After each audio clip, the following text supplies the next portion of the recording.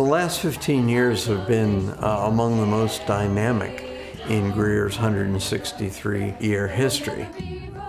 We offer every girl in school the opportunity to try new things.